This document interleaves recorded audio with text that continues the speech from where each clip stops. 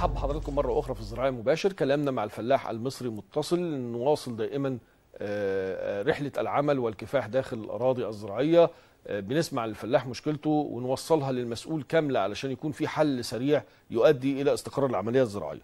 بنتكلم النهاردة على خبر بيهم الفلاح المصري وهو يعني مبادرة السيد الرئيس عبد الفتاح السيسي وقرار بوقف التعامل بالنسبة للضريبة على الأطيان الزراعية لمدة ثلاث سنوات. أنا معايا على الهاتف سيادة النائب رائف طمراز وكيل لجنة الزراعة والري بمجلس النواب. مرحب بحضرتك يا فندم. أهلا يا فندم مساء الخير. كل سنة وحضرتك طيب في البداية. كل سنة وأنت طيب يا فندم. حضرتك آه، يعني نائب في البرلمان وفلاح مصري وبتتواصل مع الفلاحين كلهم. آه، تقيم ال- القرار ده بإيه؟ تقول إيه عن هذا القرار كعضو مجلس الشعب وكفلاح مصري؟ دلوقتي إحنا يعني عاوزين بس نشكر السيد رئيس الجمهورية السيد عبد الفتاح السيسي على هذا القرار والخطوة الملموسة للفلاح المصري وإن هو فاكر الفلاح المصري وإن هو دايما عايز يخفف العبء على الفلاحين. هو طبعا القرار طبعا الصداقه طبعا ومضمونه للفلاح المصري.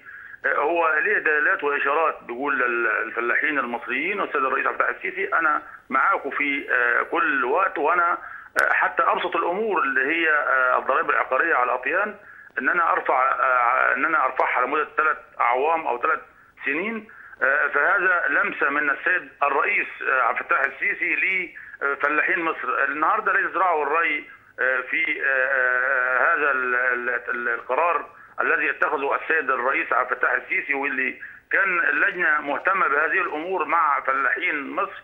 إن الفلاح المصري بيعاني كثير الأمرين في كل مشاكله وإن الفلاح المصري عايز إن الدستور يطبق عليه زي المادة 29 من الدستور بتقول على الدولة توفير مستلزمات الإنتاج للفلاحين. وأنا شايف إن كل القرارات التي تتخذ يتخذها السيد الرئيس عبد الفتاح السيسي كنت امل أن يكون هذا القرار من الحكومة أو من الوزير ل أو وزير أو رئيس الوزراء إن هو يتخذ هذا القرار. إن السيد الرئيس عبد الفتاح السيسي النهارده إحنا بنحمل عليه كل الاعباء وإحنا كفلاحين بنقول للسيد الرئيس عبد الفتاح السيسي يعني انت طبعا اتخذت هذا القرار ولكن عايزين من السيد الرئيس عبد الفتاح السيسي إن هو ينظر في موضوع بنك الزراعة المصري في الفلاحين المتعثرين النهارده الفلاح المتعثر المتعثر النهارده مش عارف ينتج وعارف يشتغل بسبب الدين اللي عليه ولكن طبعا كل الشكر والتقدير للسيد الرئيس عبد الفتاح السيسي اللي هو دايما فاكر الفلاحين وإن هو في حاجة اللي هي تهم الفلاح وهي الضريبة العقارية إن هو يرفع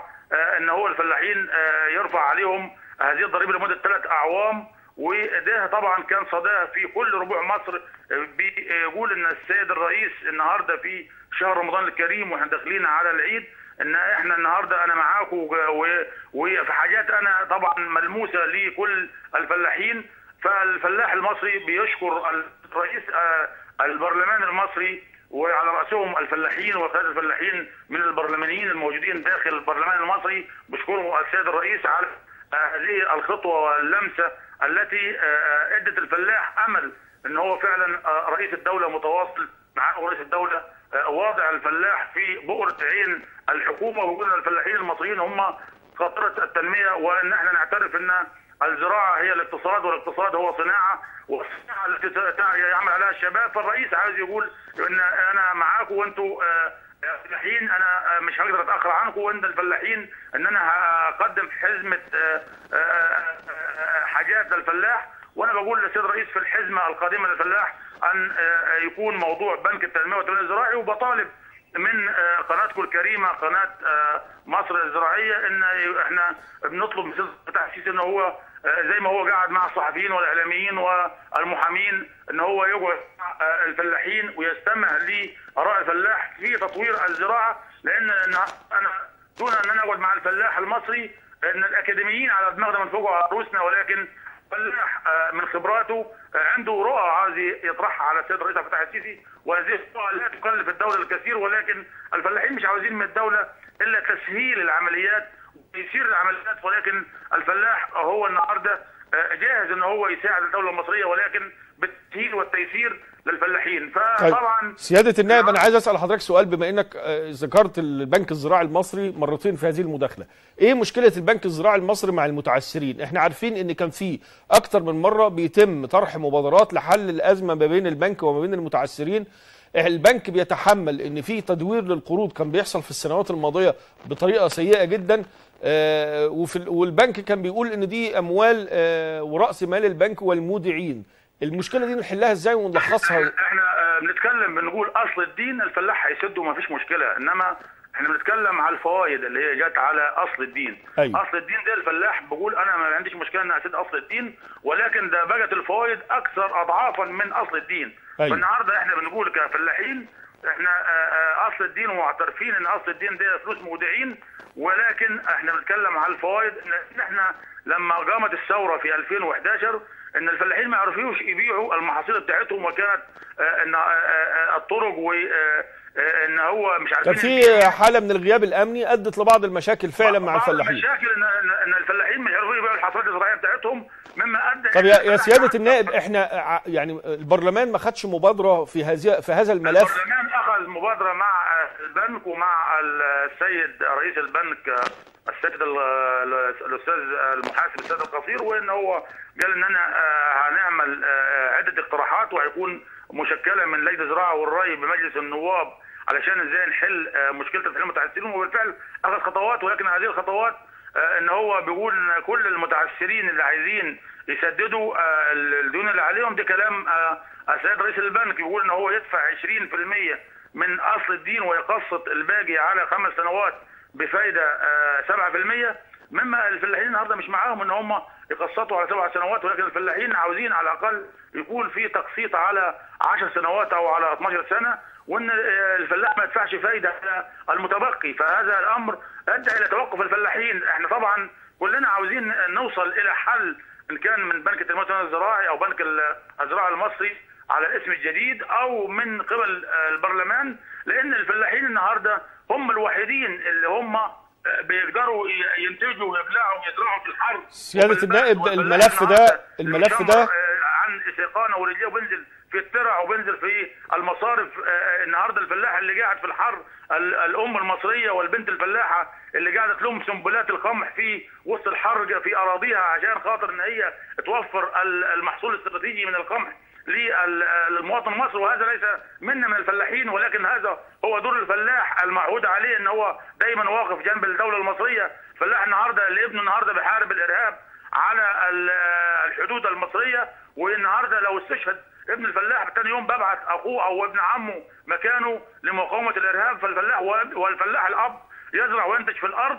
فالنهاردة لابد من تكاتف الجهود إعلام ونواب وبرلمان وصحفيين والسيد الرئيس عبد الفتاح السيسي نثق فيه ثقة إن هو يقدر إن هو يعني يحل مشاكل الفلاحين بقرار لأن الحكومة أيديها مرتعشة ولم تحل هذا آه، القرارات في بنك التنمية إحنا عاوزين 2.5 مليار جنيه يحل مشكلة المتعثرين. هذا هو دعم الصناعة هو دعم آه، المستثمرين ولكن لما يدعم الفلاح المصري. الفلاح المصري النهارده لما يتعثر المستثمر بدعم المستثمر لما تتعثر السياحة بدعم السياحة ولكن الفلاح المصري النهارده لو آه، أي أحد آه، آه، واقف مع الفلاح المصري النهارده صدقوني في خلال ثلاث سنوات هيكون انتهينا من إن أنا أستورد المحاصيل الاستراتيجية المهمة من القمح ومن الذرة الصفراء النهارده. شايفين كيلو اللحمة ب 140 و 150 جنيه والدواجن ب 35 جنيه والأسماك النهارده البلطي اللي هو بتاع المواطن البسيط وصل النهارده ل 40 و 45 جنيه بسبب الأعلاف وارتفاع سعر العلف.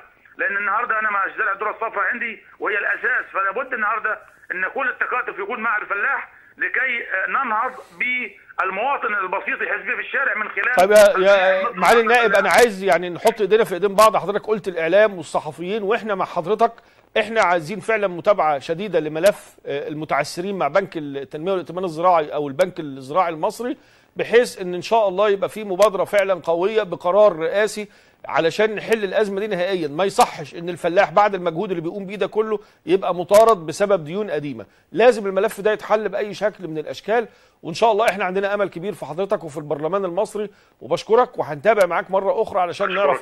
إيه كل الخطوات الجديدة في هذا الشأن بشكر حضرتك. سيادة النائب رائف تمراز وكيل لجنة الزراعة والري بمجلس النواب يعني أشاد فعلا بقرار السيد الرئيس عبد الفتاح السيسي المرتبط ب الضريبة على الأطيان الزراعية والسماح لمدة ثلاث سنوات. آه، أيضا قال الفلاح محتاج آه، مطالب أخرى آه، كثيرة على رأسها آه، مشكلة آه، البنك الزراعي المصري. ما يصحش إن يكون في متعثرين حتى هذه الفترة بالرغم من كل المبادرات اللي إحنا كنا بنتكلم عليها وبنتابعها وبعض الحالات اللي إحنا كنا في برنامج الزراعي مباشر بنتابعها وبنتواصل مع البنك علشان الناس دي تحل مشكلتها لكن لسه في ناس برضو المشكلة قائمة. آه، دي محتاجة قرار آه، يكون حاسم آه، ويحدد حل يشمل كل الحالات المتعثره آه، أيضا قال لي إن إحنا بنعاني من ارتفاع في أسعار الثروة الحيوانية وده السبب الرئيسي فيها إن إحنا بنستورد الأعلاف من الخارج. آه، إذا حصل دعم حقيقي للفلاح هيتم توفير الأعلاف ونقدر إن إحنا نثبت أو نقلل الأسعار في الفترة القادمة. ودي نقطة إحنا كنا بنتكلم فيها دايما. إزاي إن إحنا نوفر مساحات من الأعلاف آه، بأسعار مناسبة وفي النهاية آه، ده كله هيعود على الاقتصاد المصري. مين اللي بيقوم بهذا الدور أو بهذه العملية الإنتاجية؟ هو الفلاح المصري. هو اللي بيتحمل كل آه، يعني هموم الوطن في هذا الوقت. هو فعلا اللي بيتحمل هموم الوطن مش في الغذاء فقط. إحنا بنتكلم على فلاح فاهم يعني إيه دولة وفاهم يعني إيه وطن. بنتكلم على مواطن بيعيش أصعب الظروف وهو بيشتغل. آه، سيادة النائب رائف تمراز رجعنا بالذاكرة لسنوات ماضية قال لي أيام الثورة وأيام الفراغ الأمني آه، ما كانش بيعرف يسوق محاصيله. أنا عاوز أقول إن إحنا كنا بنلاقي برضه حصلات زراعية وكنا بنلاقي استهلاكنا كمواطنين في كل المحافظات بسبب إن الفلاح كان شغال. بسبب إن الراجل ده ما سابش أرضه وخرج منها. والمفروض إن إحنا نقف جنبه ونكمل معاه مسيرته في العمل وفي الإنتاج. آه، عايزين نتابع في الفترة القادمة إيه اللي حصل في ملف الزراعة التعاقدية. عاوزين نعرف إيه المستهدف اللي حصل آه، بالنسبة للحملة القومية لزراعة الذرة. ده كله مهم جدا علشان ده في النهاية يحقق لنا كلنا استقرار.